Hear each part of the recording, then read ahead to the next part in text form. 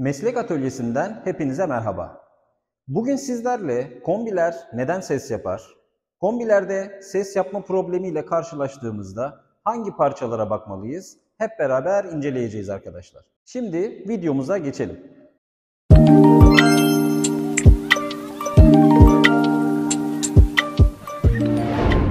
Böyle bir sorunla karşılaştığımızda daha önce de bahsetmiş olduğum gibi basitten karmaşaya doğru hareket etmemiz ve kombiye bu şekilde müdahale etmemiz bizim için daha iyi olacaktır. Öncelikle sesin nasıl bir ses olduğu bizim için çok önemlidir. Kombi çalışırken gerçekleşen bir uğultu sesi mi? Yanmanın ilk gerçekleştiği anda patlamayı andıran bir ses mi? Bir tıkırtı sesi mi?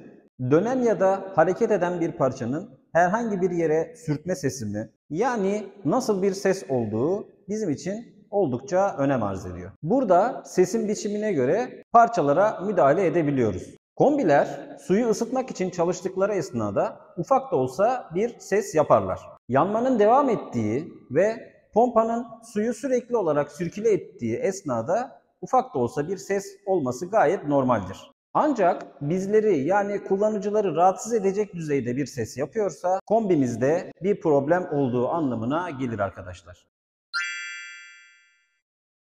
Basitten karmaşaya doğru gidecek olursak düşük bir ihtimal de olsa kombimizin kapaklarının tutturulduğu, içeride bulunan parçaların monte edildiği vidaları gevşemiş ya da yerinden çıkmış olabilir. Bu durum ufak da olsa titreşimden dolayı ses yapmaya sebebiyet verebilir. Montaj vidalarının yerinde olup olmadığı ya da gevşemiş olup olmadığı kontrol edilmelidir. Bu şekilde sesi giderme imkanımız vardır.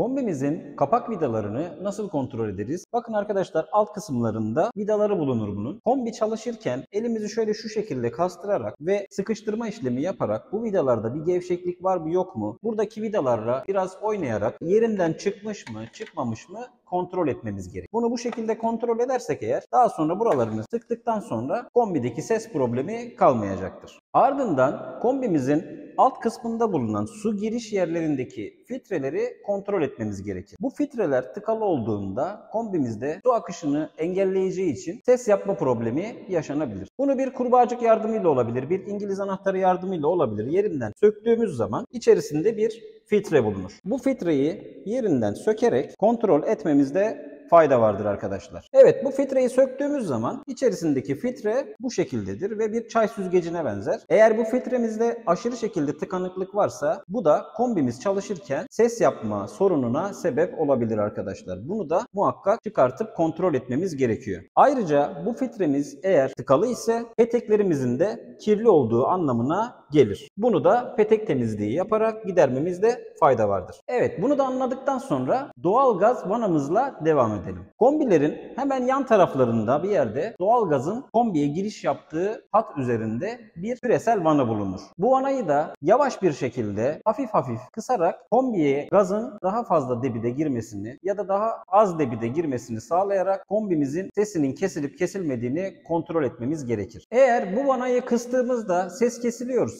kombimizin gaz ayarında bir problem olabilir.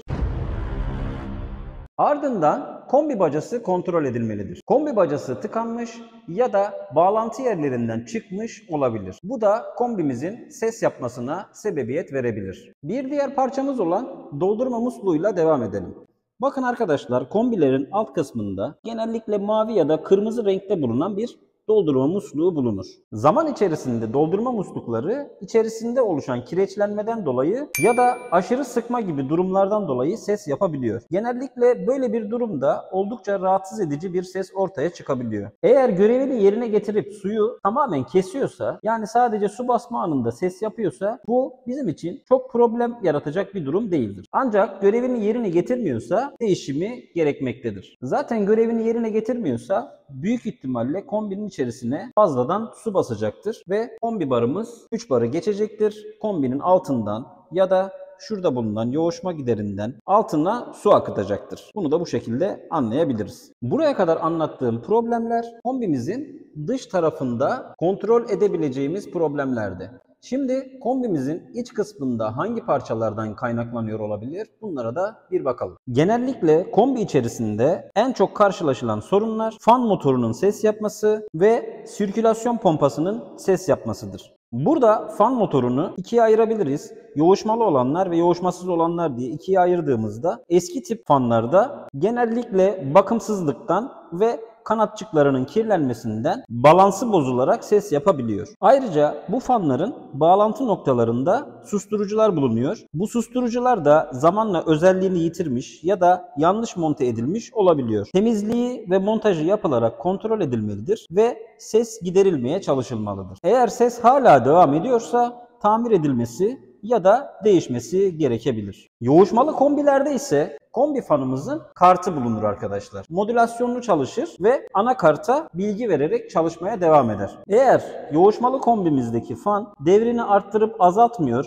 yani modülasyon yapmıyorsa bu da bizim için ses yapma problemi yaratabilecek bir unsurdur arkadaşlar. Bu durumda yüksek performansla tam kapasiteyle çalışırsa sürekli ses yapabilir. Bunun da kontrollerini yapmamız gerekir. Elektronik kartımızdan bu fana ulaşan bir kablo vardır arkadaşlar. Bu kablodan gerilim tekrar karta dönüşü yapıyor mu yapmıyor mu kontrol etmemiz gerekir. Bunun da sağlamlık kontrolünü bu şekilde yapabiliriz. Ayrıca tozlanmadan, kirlenmeden dolayı da şuradaki bulunan fanımızın kanatçıklarına da bir hava vurduğumuzda içeride bulunan sesi belirli ölçülerde kısıtlayabiliriz. Daha sonra pompamızı inceleyelim arkadaşlar. Sirkülasyon pompası içerisinde zamanla sıkışmalar, tıkanmalar yaşanabilir. Eğer sesimiz buradaki pompamızdan geliyorsa şu ön kısımda bulunan tapamızı yerinden sökerek çıkarttığımızda bakın şu şekilde çıkartıyoruz.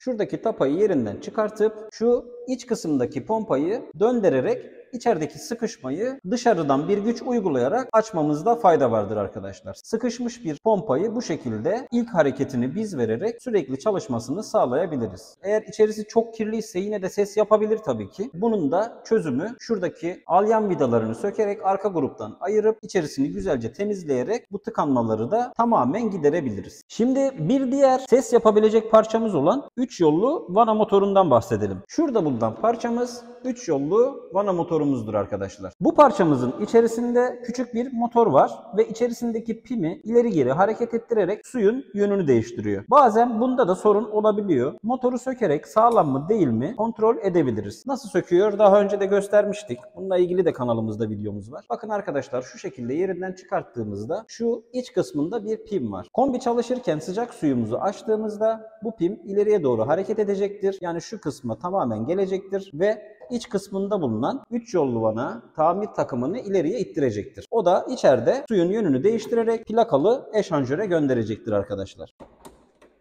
Eğer arıza bundan kaynaklanıyorsa ve ses yapıyorsa bu da genellikle yenisiyle değiştiriliyor. Çok pahalı olan malzemelerden değil, tamiri genellikle yapılmıyor. Ardından doğalgaz ile ilgili bir problem olabilir. Kombi ateşleme yaptığı esnada eğer gaz ayarı yanlış ise ateşleme ve ufak patlama sesine benzer bir ses yapabilir. Bu bahsetmiş olduğum patlamalı yanma olayı gerçekleşiyorsa ya brülör memelerinde tıkanıklık vardır ya da yüksek ihtimalle gaz valfinde bir problem vardır. Sorunumuz gaz valfi harfindeyse eğer gaz ayarı yapılması gerekir. Bununla alakalı da hangi marka ise o markanın servisine başvurup hem parametre ayarı hem de gaz ayarı yapılmasını isteyebilirsiniz arkadaşlar. Ardından sürekli olarak bir su akış sesi duyuyorsanız ve bu sizi rahatsız ediyorsa 3 bar emniyet ventili takılı kalmış olabilir. 3 bar emniyet ventilimiz de hemen şurada bulunuyor. Bakın üzerinde de 3 bar yazıyor zaten. Bununla alakalı da bir video paylaşmıştık. Ayrıntılı olarak inceleyebilirsiniz. Bu arızada kombi su basıncı 3 barı geçtiği anda 3 bar emniyet ventili suyun fazlasını kombinin diğer parçalarına zarar gelmesin diye dışarıya atıyor.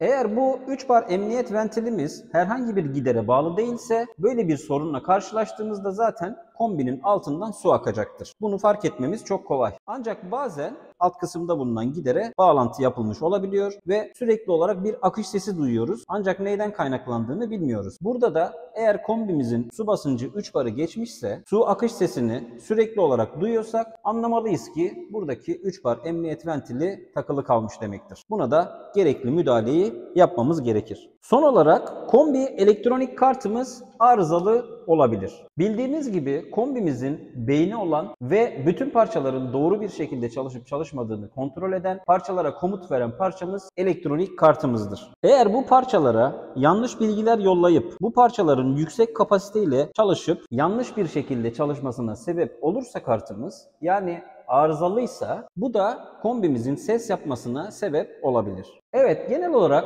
kombi neden ses yapar problemiyle alakalı neredeyse her şeyi inceledik ve videomuzun sonuna geldik arkadaşlar. Bu ve bunun gibi videoları daha fazla görmek istiyorsanız Meslek Atölyesi YouTube ve sosyal medya kanallarına abone olabilirsiniz. Soru ve görüşleriniz için de videonun altında bulunan yorumlar bölümünden bana sorularınızı iletebilirsiniz. Bir sonraki videoda görüşmek üzere, hoşçakalın.